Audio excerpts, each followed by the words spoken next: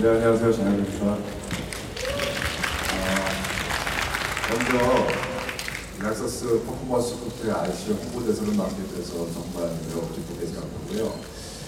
어, RC는 굉장히 뛰어난 주행 능력과 그리고 그 디자인이 매우 매혹적이어서 운전하는 동안 굉장히 그 매력에 빠져든 것 같습니다.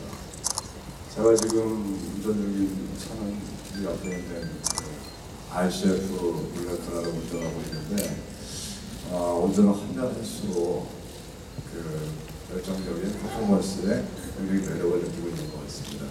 차량을 좋아해서 많은 차를 한번 물어봤는데 그 차량들과는 굉장히 또 특별한 어떤 매력에 빠지는 것 같습니다. 어, 여러분들도 이 시간을 통해서 RC의 아주 매력적인 그런 모습에 빠져볼 수 있는 시간이 됐으면 좋겠습니다. 감사합니다. RC 홍보대사로서 많은 활동 기대하겠습니다. 감사합니다. 그럼 지금부터 공식 포토 세션이 진행되겠습니다. 요시다 사장님 무대 위로 올라와 주시기 바랍니다.